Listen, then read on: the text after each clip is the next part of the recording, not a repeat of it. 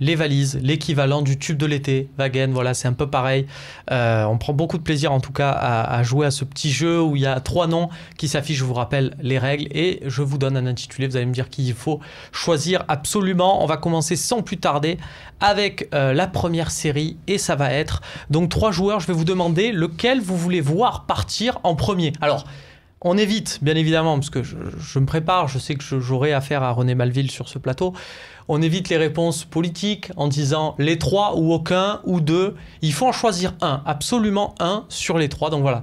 Qui faut-il faire partir en premier Là, dans l'effectif de l'OM, on vous a mis les, joueurs qui remportent actuellement le moins de, suffrages euh, en termes de popularité. Sébastien? Moi, je pense qu'il y en a qu'un qui pourrait ne pas jouer du tout cette année s'il était dans l'effectif, c'est Andonian. Donc, euh, il pourrait faire quelques rares apparitions. Bedimo aussi, en fonction de la forme des bras. Andonian, je ne le vois pas jouer du tout. Quoi qu'il arrive, quelques scénarios que ce soit, il jouerait pas. Donc, ben, Andonian. Alors tiens, un choix euh, euh, étonnant, mais pourquoi pas, puisqu'on rappelle que euh, Gaël Andoniang a à peu près 10 fois moins que Bedimo, donc du coup, en termes peut-être de, masse salariale, il y a un choix différent. Vagan, toi, ton choix, ça se... Alors moi, mon choix, ça serait plutôt Ubokan, qui, donc on est déjà bien garni sur le côté gauche, on a Evra, Bedimo, donc... N'oubliez pas le jeune Christopher Roquia, vous allez Exactement. en parler. Donc sur le côté, le côté gauche et et clôturé, on va dire, euh, il n'y a aucun intérêt à garder ce type de joueur dans l'effectif. D'accord. C'est un joueur. Toi, Thomas Subokan, tu vois avant tout à, gauche, et d'accord. Il part très bien. On passe à la deuxième série, messieurs. Alors là, l'intitulé change. On sait qu'on a recruté Adil Rami, je vais donc vous demander qui vous voyez là pour tout de suite, pour le, match contre Stand la semaine prochaine. Qui vous voyez associé à Rami? Parce que évidemment, on souhaite tous qu'il y ait une autre recrue en défense et qu'il y ait une charnière totalement nouvelle à l'Olympique de Marseille. Mais en attendant, puisque les dossiers ne sont pas faits, ça va peut-être arriver. Mais au cas où, je vous demande voilà, qui vous voulez voir associé? Donc, vous mettez les trois noms de, voilà, les défenseurs qui ont le plus joué euh, jusqu'à présent en préparation. Certic, Rolando, Doria. Seb ben, dans le profil euh, demandé par Garcia, à savoir un joueur qui s'est relancé, dans les trois, je pense qu'il n'y a que Certic. Euh, moi, Certic, voilà, c'est, je, je, je, pense. Alors, le, le, le seul doute que j'ai, parce qu'encore une fois, je peux pas te, te dire que je suis le, spécialiste de tous les joueurs du monde, euh, et encore moins de Rami qui n'était pas à l'OM l'année dernière, mais est-ce que ça pourrait faire une charnière les deux? C'est-à-dire que je sais que des fois, il y a des préférences pour jouer à droite et à gauche.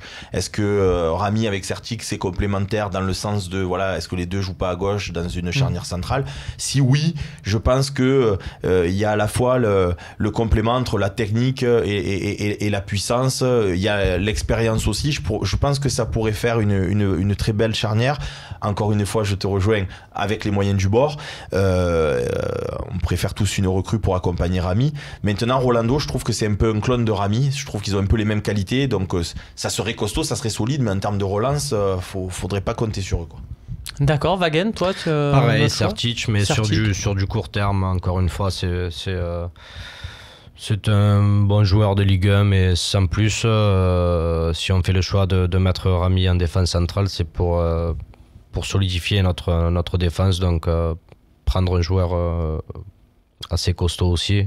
Sertic est un joueur, bon joueur de, de Ligue 1, mais sans plus. Avec euh, ces petits problèmes musculaires, il a raté des matchs sur blessure. C'est vrai qu'il faut aussi penser à des solutions de recours quand il y a euh, Certic. On passe à la troisième série. Alors là, l'intitulé change également. Je vais vous demander qu'il faut prêter en priorité, puisque on le sait des fois, c'est pas mal de prêter des jeunes joueurs pour qu'ils s'aguerrissent, qu'ils fassent une saison pleine en tant que titulaire dans un autre club, pourquoi pas de, Ligue 1. Donc voilà, trois possibilités. Saïf Edine Kawi, euh, Boubacar Kamara et André Franck Zambo Anguissa. Seb, tu gardes la main, tiens. Ben moi, je, vais faire comme tout à l'heure sur la première série, c'est-à-dire je vais faire une élimination à l'inverse. Je pense absolument que Boubacar Camara doit avoir sa chance cette année à l'Olympique de Marseille, soit dans un poste au milieu de terrain comme a commencé à le faire euh, évoluer euh, Garcia, soit sur un poste défensif puisqu'on l'avait vu déjà euh, suppléer Sakai avec un, certain succès. il peut aussi, bien évidemment, évoluer à son poste de en charnière centrale. donc on le garde bien évidemment parce qu'il va jouer cette année avec l'OM. Ça euh, fait que monter en puissance selon moi, c'est-à-dire qu'au début c'était nul et puis plus les, les, les, je me souviens d'un article avec euh, euh, angoisse Zambo angoissant. Zambo angoissant. Donc ben, on est parti de là, d'angoissant et puis là il a fait ses, ses preuves. Donc résultat, ben, je prête que Kawi. D'accord, mais oui, des fois on fonctionne comme ça aussi, c'est pas bête. On sait que les choix, on en parle, voilà, tu fais des choix par élimination. Les choix de Garcia, ça t'interpelle aussi, Wagen. Des fois, tu te dis, tiens, moi, il fait des choix comme ça, moi, je les ferais euh, un peu autrement. Là, voilà, à la place de Rudy Garcia, tu ferais quel choix? C'est-à-dire qu'en même temps, si Garcia, il était aussi intelligent que toi, Wagen.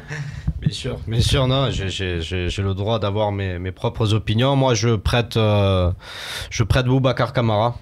C'est un joueur, euh, donc en devenir, c'est, euh, ce sera un futur très bon joueur qui a besoin de temps de jeu, qui n'en aura pas forcément euh, dans ce projet-là, qui n'en aura, selon moi, pas forcément. Donc, euh, c'est un joueur que je prêterai et qui sera de retour dans les deux prochaines années euh, à un très bon niveau. Est-ce que tu penses très sincèrement, et je pose aussi la question bien évidemment à, Romain, est-ce que vous pensez que, que le joueur accepterait d'avoir re-signé, enfin, d'avoir signé son contrat pro avec l'OM pour en fait aller jouer ailleurs Ça s'est vu pas plus tard qu'il y a quelques jours. Kurt Zuma a prolongé son contrat à Chelsea pour être prêté à Stock et c'était dans, pareil dans un projet de, de s'aguerrir. Oui, mais là, c'est. Ouais, mais Monaco fait ça, Chelsea fait ça, les grands clubs font ça, ils prêtent des. Non, mais je, parle joueurs. De, je parle du dossier Camara, je parle pas de manière générale. Tu, tu le Moi, fais je pense qu'avec l'estime qu'il a de lui-même, et il a raison d'en avoir parce qu'il a vraiment un gros potentiel, resigner à l'OM pour aller euh, jouer, euh, être prêté quelque part, j'y crois pas trop. Ta, ta, remarque, elle est super pertinente,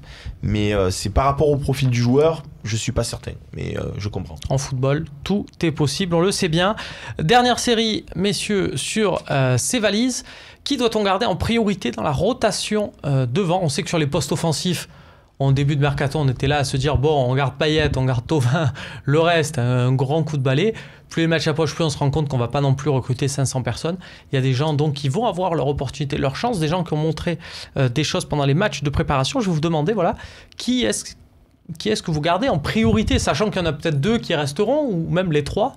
Mais euh, voilà, qui est pour vous celui qui doit rentrer absolument dans la rotation, là, qui, qui gagne une deuxième chance à l'Olympique de Marseille Seb?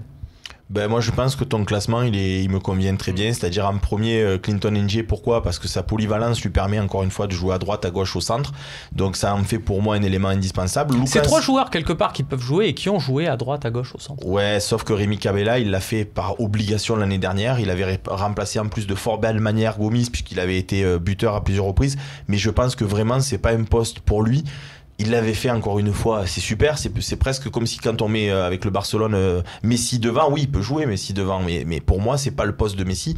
Euh, là c'est pareil, quand on met Cabella devant, c'est clairement pas son poste. Pour moi c'est beaucoup plus, ça peut être potentiellement beaucoup plus celui de NG. Et au Campos, c'est vraiment pour moi une hybride entre NG et, Cabella, c'est-à-dire c'est c'est mieux que pour moi Cabella devant à la pointe, mais c'est pas mais c'est moins bien que NG. Bon après c'est mon avis.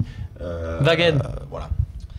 Euh, faut pas dire les trois, mais de toute façon, tu garderas les trois. Ça, c'est indéniable. Tu, tu, seras obligé de garder les trois. Tu as levé l'option d'achat de, de Tu, euh, tu, as Lucas, Lucas Campos qui revient Ces trois joueurs, tu fais bien de le souligner, qui sont encore sous contrat pour plusieurs années voilà. avec l'Olympique de Marseille. Et Rémi Cabella ne quittera pas le club. Mais en priorité, comme, comme j'ai dit tout à l'heure, je, je, donnerai sa chance pour une très bonne doublure à Clinton NG qui peut être surprenant. Très bien, et eh ben, je pense que ça fera plaisir à Clinton qui partage avec toi le goût des chaussures noires et des chaussettes blanches. Voilà, ça se voit pas à l'écran, mais lui aussi, ça lui fait euh, plaisir. Messieurs, on passe tout de suite à la partie des questions-réponses.